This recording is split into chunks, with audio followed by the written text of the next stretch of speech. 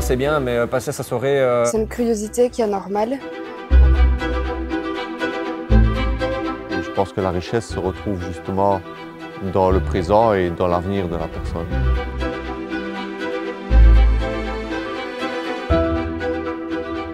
Je m'appelle Yves.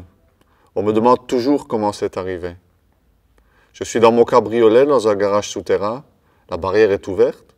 Je passe en dessous. Au moment où je passe, elle s'abaise sur ma nuque et la brise. Corée du Nord, un sac à dos, un voyage, une histoire de sandwich. Une piqûre de guêpe, j'étais couvreur, un massage thaïlandais, un match de tennis.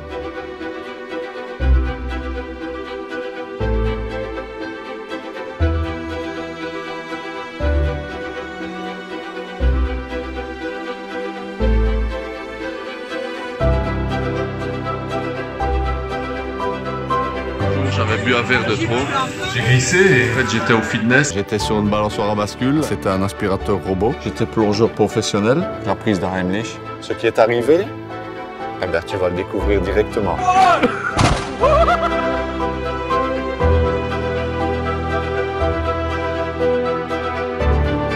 Qu'est-ce qui t'est arrivé? À chaque fois, il change d'histoire. On a inventé plein d'histoires et en effet, voilà, les gens vont se rendre compte que finalement, comment c'est arrivé, euh, c'est pas ça l'important.